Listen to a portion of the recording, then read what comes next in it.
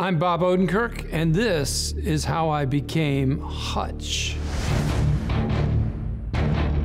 Hutch Mansell is a regular dad guy, suburbanite fella you pass on the street and you barely notice him. And that's exactly what he intended to be because he's kind of in hiding. He actually has a past, a violent past, but that was all before he got married and had some kids and wanted a normal, normal life like a regular old Joe. He's been hiding in this character of Hutch and suffering as he's been doing it for a long time. He's a accountant. He works at his father-in-law's factory, tool and die factory, and he kind of feels like he's disappearing. And then there is a home invasion, and it kind of sparks uh, a lot of anger and rage inside him. And he goes off and reconnects with his violent past.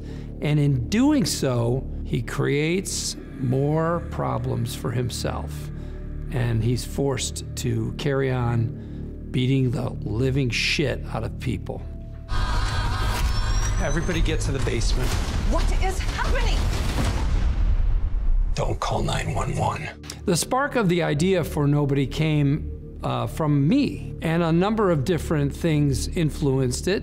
One of them being I'm uh, 58 now, but I was 54 when I had the notion that as a dad, you really start to feel like you're disappearing a little bit, uh, especially as you get older. Well, I mean, the whole world becomes about the younger generation, and in my case, my kids are now they're 20s, but they were teenagers.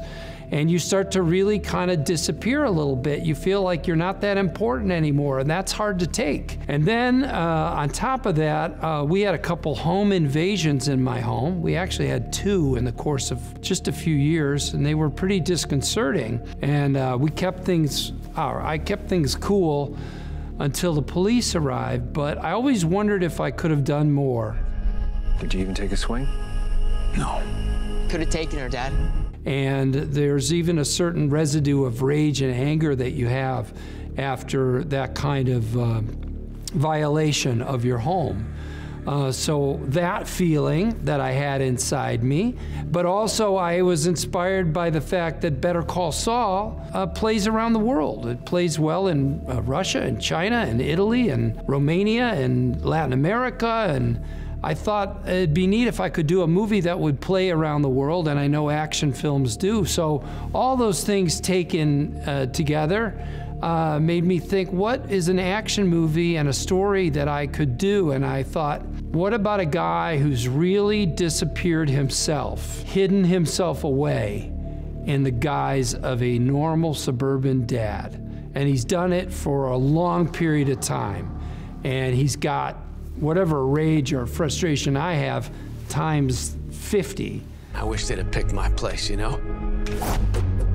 Listen, I'm surrounded by the best in the business on Nobody. The fact that Derek Kolstad, who wrote John Wick, wanted to write it, he's writing the best action films that are playing right now. Ilya Naishuller, who directed it, directed Hardcore Henry. He is action genre lover like nobody else on earth.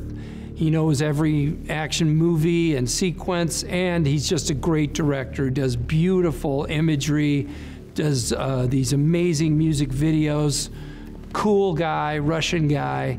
David Leitch led our pack along with Kelly McCormick. David and Kelly together surrounded me with the best stunt people, and my training was done by the best stunt actor in the world, Daniel Bernhardt. Remember that name. You've seen him in Atomic Blonde. He, he fights Charlize in that apartment scene. You loved him in Barry last year when he played the karate expert guy. Daniel's been in every of every great action movie of the last 20 years. He trained me for two years this guy showed extreme patience with me as I learned to throw a fake punch. But David Leitch, you know, leading the way, I mean, we couldn't ask for anyone better. I, I was surrounded by pros, which is why the the action sequences in Nobody are as good as they are. I'm gonna fuck you up. Well, my favorite sequence in the movie, action sequence, is the first big one, and it's in a bus where my character takes on uh, like eight different guys at once. And what I loved about that was it was close up, hand to hand, and had to be really choreographed and practiced. And we all had to work together. It was a real expression of like pure, intense rage, which I guess I've been wanting to get out of me for my whole fucking life. it was hard to do. It was a real tester to see if I could even do this well. And you know, I I thought about Jackie Chan movies. I love his early films. Police Story is one of my favorite movies. And I wanted to get in there and do that kind of work. And that's what I trained for for two and a half years. And that bus fight was uh, a challenge, a danger, and a joy to do. And I hope people like it half as much as I loved making it.